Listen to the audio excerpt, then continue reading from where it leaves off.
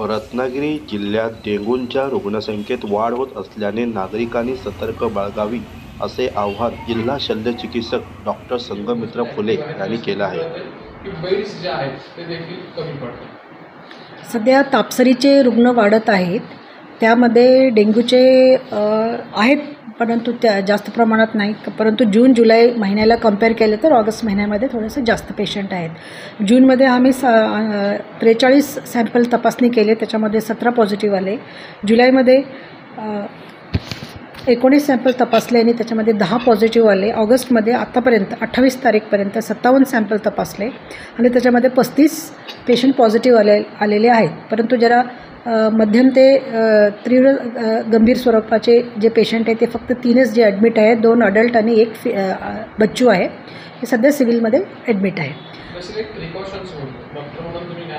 हां प्रिकॉशन म्हणजे डेंग्यूचे जे मच्छर आहेत त्यांचे आळ्या हे स्वच्छ पाणीमध्ये थोडे थोडं पण जरी पाणी असेल जिथं साचतो पाणी सात दिवसापेक्षा जास्त तर तिथे हे आळ्या सापडतात आणि ह्यांच्यामधून हे मच्छर तयार होतात तर हे जे व्हायरस आहे ह्या मच्छरमधून मनुष्याला ए चावल्यानंतर इन्फेक्टेड माणसाला चावल्यानंतर जेव्हा नॉर्मल माणसाला चावतो तेव्हा ते व्हायरस जातो आणि मग ते डेंग्यूचा आजार होतो.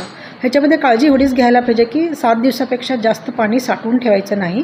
किंवा असं जे टायर किंवा काही प्लास्टिकचा कचरा वरवंट वगैरे नारळाचे हे असतात ते सगळे असं आपण लव लवकरच विल्हेवाट लावायला पाहिजे. त्याला तसं सोडलं तर ते थोड्यासुद्धा पाणीमध्ये हे आळ्या वाढून डेंगू वाढू शकते.